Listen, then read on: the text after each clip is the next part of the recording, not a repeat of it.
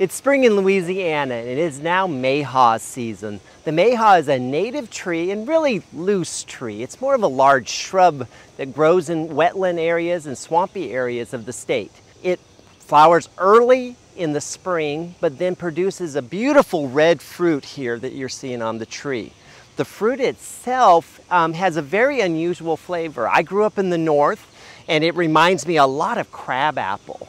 And crab apples are usually kind of tart and sour. So one of the best things we can do with the mayhaw is actually make preserves and jellies.